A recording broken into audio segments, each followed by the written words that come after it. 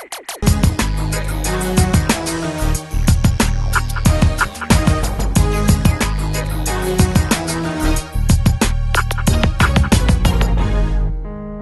Hemma Bäst så ska vi besöka familjen Helins. För något år sedan så tog de det svåra beslutet att riva familjehemmet för att bygga nytt.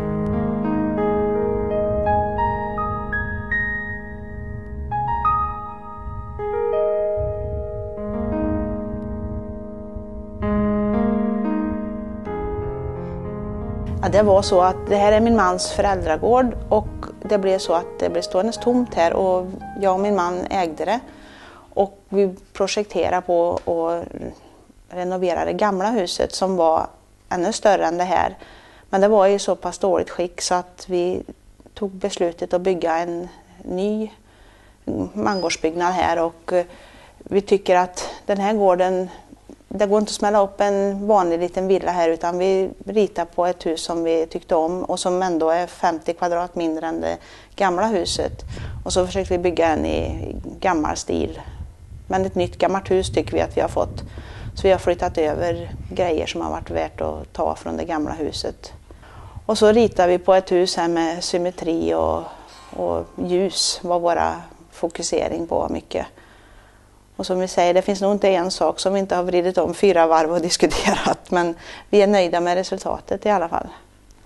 Olika viljor? Ja, så kan det vara. Men vi, vi tål att diskutera med varandra. Så det, vi säger den som inte är nöjd, då får vi hitta på en annan lösning. Om vi inte är nöjda bägge två. Så det har, det har tagit sin tid, men det har, så har det blivit i alla fall. Finns det några speciella regler när man ska riva gamla hus och bygga nytt och så man måste ta hänsyn till? Vi pratar ju med byggnadsnämnden och eh, man måste ju ha ett rivningslov på gamla hus. Och eh, vi fick ju lämna ritningar då, och de var väldigt positiva och vi har blivit väldigt väl bemötta där. Så att, eh, men lagen har ju sin gång.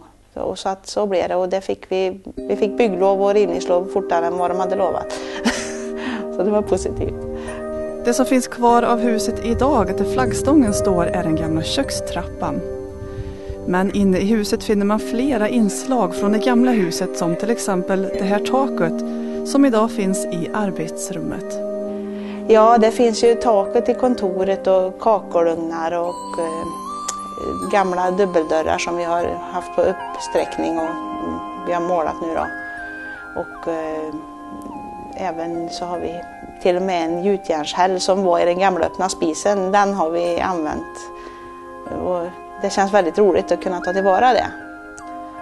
Men nu har vi ett varmt hus, det är välisolerat och, och till och med som aldrig vi kan ha ljusstakar i fönstret och, och tända kan de vara med utan att lågan fladdrar.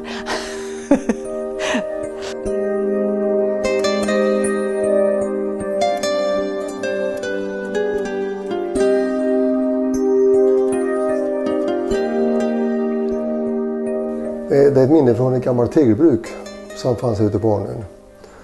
Och eh, det är då den äldsta stämpeln som eh, finns därifrån. Det fanns en sån sten kvar här på gården och det tyckte vi var roligt att bevara. Och då gjorde vi en liten nisch här i väggen och satte in den.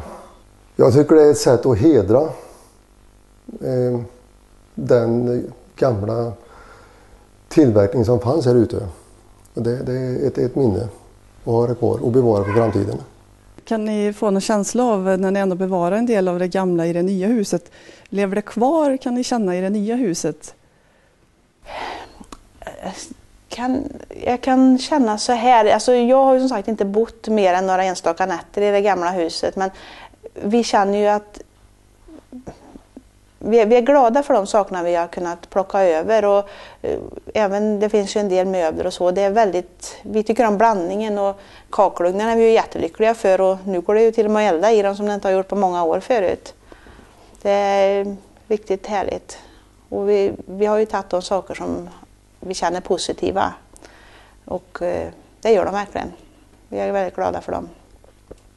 Vi hade ett gammalt magasin här på gården och eh, det var ju ont om mat och eh, ett sätt för att skydda detta så satte de sådana här eh, järn så inte folk kunde gå in i luckorna och stjäla spannmål för.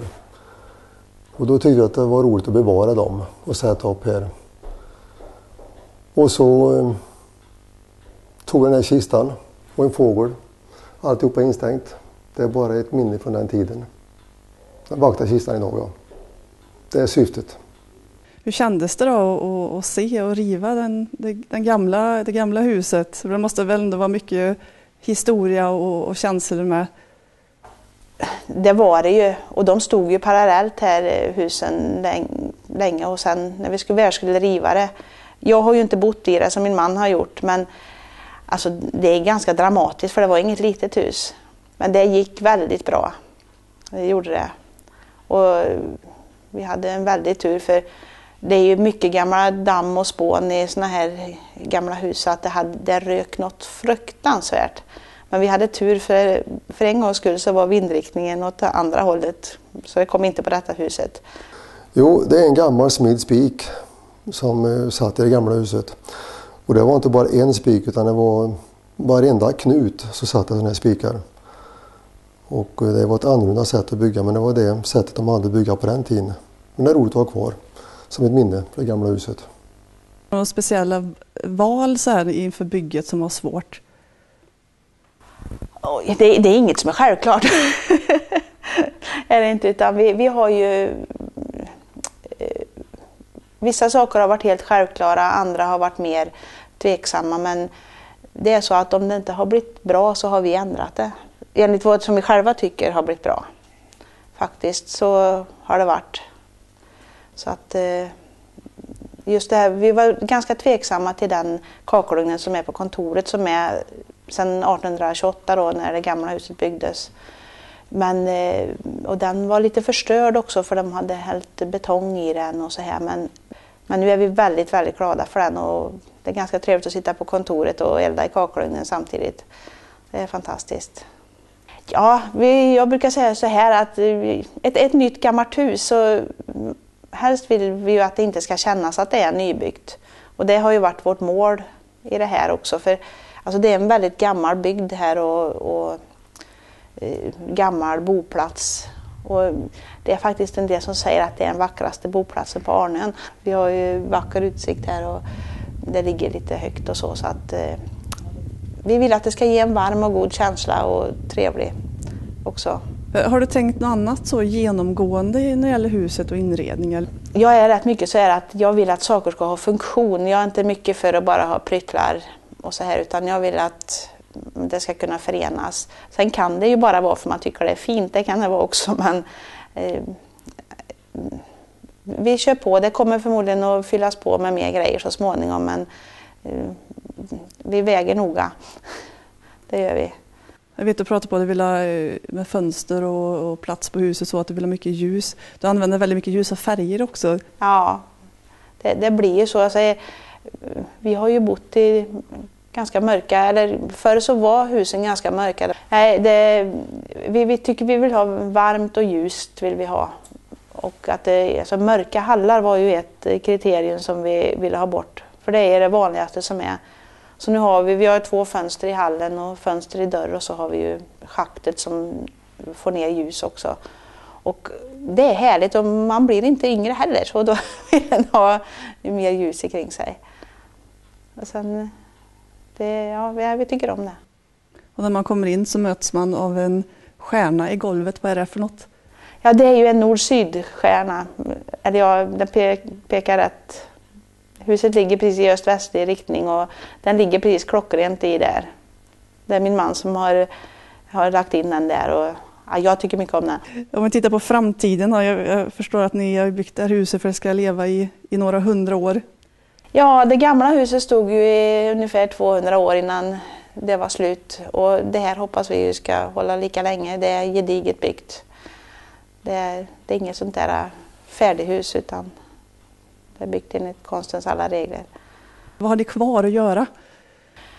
Ja, vi har ju utsidan, eller ja, miljön runt omkring här ute för att eh, än så länge har vi bara tagit bort i trädgården. Nu ska vi börja och anlägga trädgård och vi ska få på riktigt grus på, på backen här ute och istället för bara sättgrus. Och, och sen så har vi kvar övervåningen är vi inte färdiga med än på, med möblering och så här men det kommer när vi har bott innan ordentligt.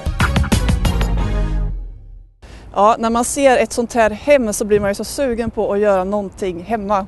Och nu så har du möjlighet till det. Du kan nämligen här på kanal 12 nu vinna den här coola lampan ifrån Sonny Leeds. Och det du behöver göra är att mejla mig, Therese kanal12.se och skriva var någonstans i ditt hem du skulle vilja ha den här lampan. Så mejla mig, Therese kanal12.se, så har du chansen att vinna den här coola lampan.